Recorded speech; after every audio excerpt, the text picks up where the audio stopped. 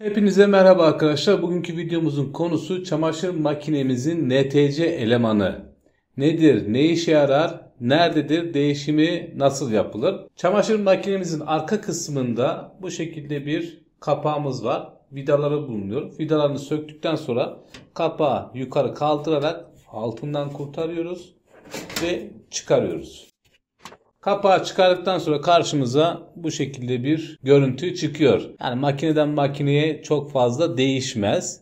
Bazı farklılıklar oluyor tabii ki ama genelde sistem aynı. Rezistansımız ve NTC elemanımız. Şuradaki tek parça NTC elemanı. Rezistansın genelde yanında olur. Ayrı bir kabloyla makinenin içerisindeki suyun sıcaklığını iletir. Şimdi bu kabloyu yerinden çıkaralım.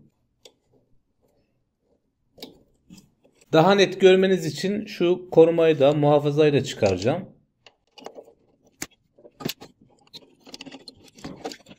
Şimdi makineyi biraz yukarı kaldırıp size daha net bir görüntü sağlayayım. NTC elemanını çekerek çıkarabilirsiniz. Bir conta tutuyor bunu. Conta biraz yapışmış olabilir. NTC kireçlendiği için yerinden zor çıkabilir. Bir tornavidadan yardım alabilirsiniz. Yani şu şekilde çıkarabilirsiniz. Ya da en alttaki contadan da çıkarabilirsiniz. Şöyle göstereyim. Şimdi bizim NTC'miz temiz olduğu için kolay çıkacak. Kireçlenen makinelerde o kadar kolay değil. Şu contayla beraber de çıkarabilirsiniz.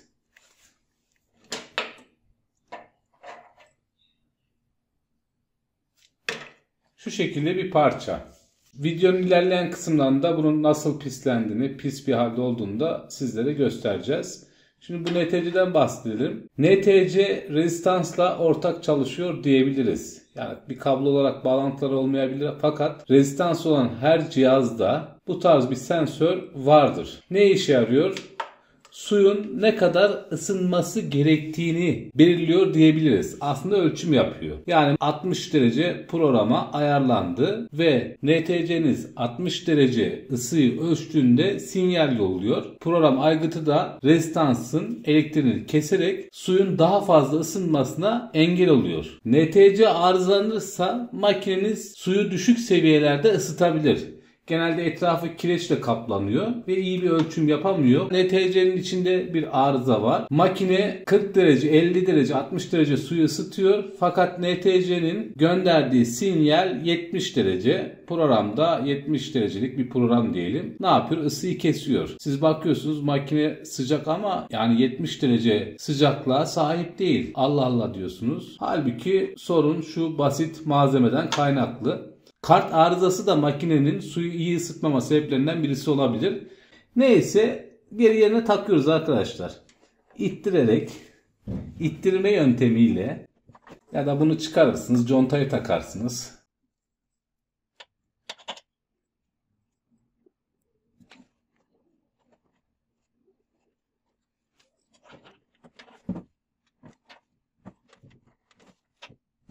Bu demir kısmının içine girmesini sağlayın contanın.